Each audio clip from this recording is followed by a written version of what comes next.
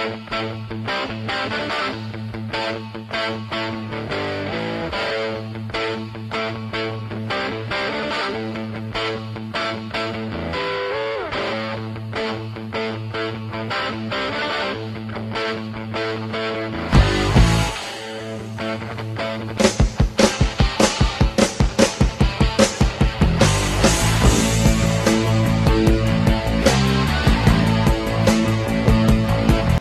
back to this week's Student News. We're your anchors Freely. and Karis.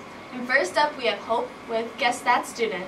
In this week's student news, we're doing Guess That Student. So this week, she is a freshman. She's got brown hair. She's a three-sport athlete. She's 5'5". She has two siblings. Her favorite movie is Bring It On, and her favorite school subject is math. So be thinking of who you think it is, because at the end of the video, we'll reveal who it is to you. Next, we have Haley with an update about Snowball.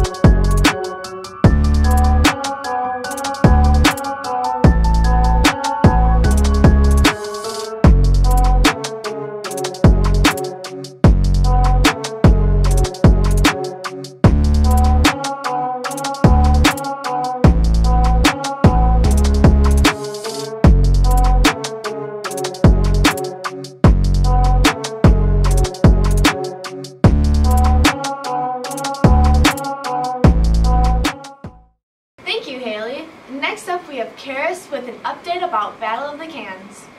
Hey Al, did you hear that there's a new Battle of the Cans coming on January 27th? No, what's that? Well, I'll tell you. We'll have our Battle of the Bands against Cedar Grove, but we'll also have the brand new Battle of the Cans, where we will compete against Cedar Grove to see who can bring the most canned goods or non perishable food items. All you need to do is bring your canned good and drop it off in the Oostburg bin, not the Cedar Grove one.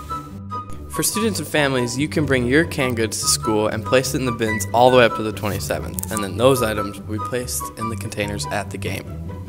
This is for the whole Oostburg community. So let's beat Cedar Grove and not only battle the bands, but also the brand new Battle of the Cans. Hope to see you there. Make sure you come out on January 27th to support Oostburg in both the Battle of the Cans and the Battle of the Bands.